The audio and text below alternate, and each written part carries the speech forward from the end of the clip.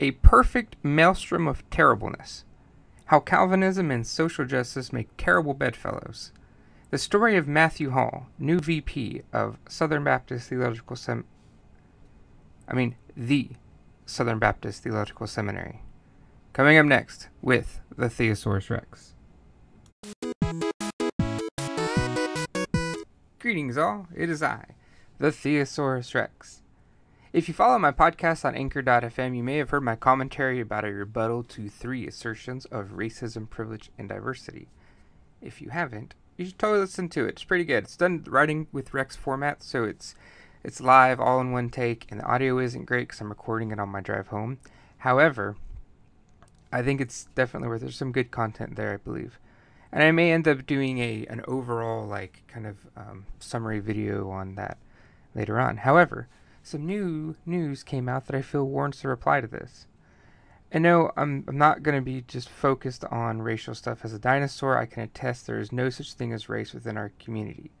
And I spoke about my channel intro. One of the reasons why I've been posting about it more is because I think this is a battleground that Christianity is fighting with gender and race. And a lot of the social justice warriors are using um, tactics against them that people who are who are on the front lines of the, the whole social justice warrior fight and everything that are used to, but a lot of people aren't, so they're being bullied into believing a lot of this stuff. As you may know, I graduated with my Master's of Divinity from New Orleans Baptist Theological Seminary, and one of our largest rivals is within the Southern Baptist kind of uh, college system is the Southern Baptist Theological Seminary with Mr. Albert Mohler and he, as the president, has become kind of a Southern Baptist superstar due to his outspokenness on political and moral issues in the mainstream. His school has a cult of personality about him, and within Southern the Southern Baptist community, there's pretty much a big uh, cult of personality about him as well.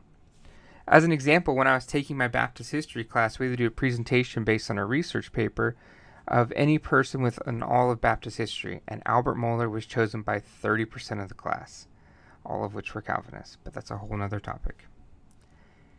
Anyway, I say that the Southern Baptist Theological Seminary is a rival of NOBTS because they consider themselves the intellectual powerhouse of the SBC schools.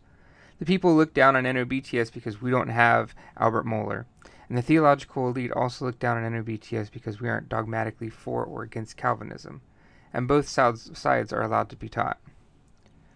And during the conservative resurgence, the time within the Southern Baptist Convention where they kicked out all the liberal theologians um, from their colleges and whatnot, the Southern Baptist Theological Seminary was the last holdout. And it would seem that they're the epicenter for the new wave of woke social justice or the progressive arm within the Southern Baptist Convention, following um, a lot of the changes that have been happening right? From allowing racial trauma counseling on the campus for blacks who have been traumatized in white churches to hiring an admitted racist and white supremacist. What? What are you saying, these Rex? Why? Why would you make such accusations about that? Why don't just have accusations? Here's the video.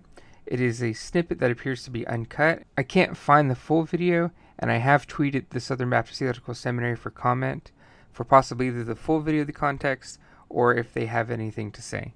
But here you go. I have a pretty historic and I think Pauline or biblical view of, of the power of sin. Mm. The problem is a lot worse than we think. Mm-hmm. Um, what I mean by that is both individually, like I am a racist. Mm-hmm. Mm. Okay, so if that freaks you out, if if you think the worst thing somebody can call you is a racist, then you're not thinking biblically. Because mm. guess what? I, I, I am, I'm going to struggle with racism and white supremacy until the day I die and get my glorified body mm. and, a re, and a completely renewed and sanctified mind. Wow. And that is pretty crazy. Uh, so, from what I can tell, he's talking about the nature of sin.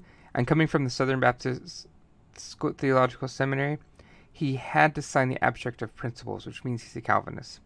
And one of the things about Calvinism is that they find their identity in Christ, but also in their sin nature. They are very hyperly aware of how terrible humanity is and focus on it more so than any other identity they claim to have. To put it another way, they believe that we are sinners saved by grace, not saints who occasionally sin. Therefore, their identity is rooted in their old sinful life, not our redeemed state of being. And that's a whole other topic that I may probably will get into at a later time. To me, his statements are horrifying. My mom's side of the family, my dad's side being from Washington State, didn't have the same issues, walked in the civil rights marches. They championed the cause of civil rights. My aunt had a KKK cross burnt in her front yard. Being a racist isn't just a word devoid of meaning that you call your political opponents to me. It's being a racist or any sort of racial supremacist has no place in Christianity. And if you're comfortable with it, and if you are resigned that you're always going to struggle with that, you have no business in ministry, especially not in a leadership position. Ah, uh, but dear, he, he's just admitting a sin that he has. How is that any different than a, a woman struggling with sexual sin or a man who is on drugs? And I'll admit my lack of experience being a racist or a racial supremacist makes it difficult for me to empathize with that. But I can better understand the individual struggling with sin that's only a sin due to timing or situation, or another individual trying to medicate their pain away. I can't understand someone who would struggle thinking that they're better than other people just because of their race is different. I can even understand in some way, like a cultural or class supremacist, but not one based on racial or gender immutable traits. So how can the, the Southern Baptist Theological Seminary just let this pass? Well, I believe it's the embracing of woke slash SJW Christianity as they've done. Christianity intersectionally argues that we must identify ourselves not only as Christians, but also by our immutable traits, as they help us to describe or identify our struggles. So the struggles of a black male Christian are different than that of a Hispanic female Christian, which are different than that of a white male Christian. While this can work in the political sphere within various secular ideologies, it forces us within the Christian sphere to reject the biblical truths that are stated.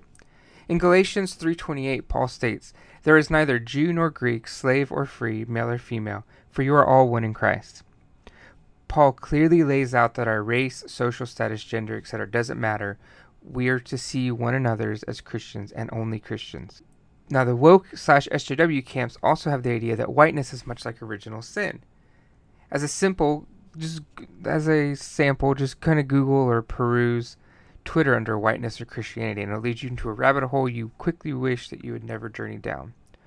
Whiteness is seen not just as a lack of melanin, but as a sort of original sin that makes one responsible for all the actions of not only their ancestors, or if you don't have like slave owning ancestors or whatever, then you have the guilt and um, shame of every person who shared that lack of melanin with you.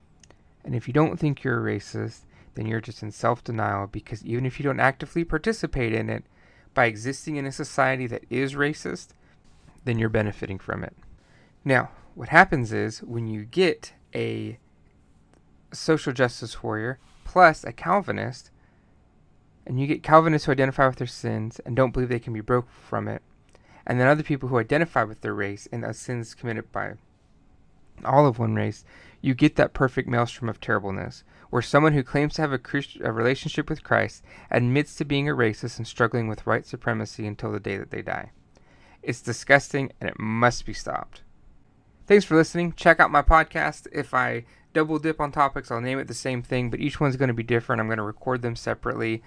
Um, I'm going to maybe put in commentary I did in the other ones, etc. And follow me on Twitter at Saint Theosaurus Rex. It's S T Theosaurus Rex.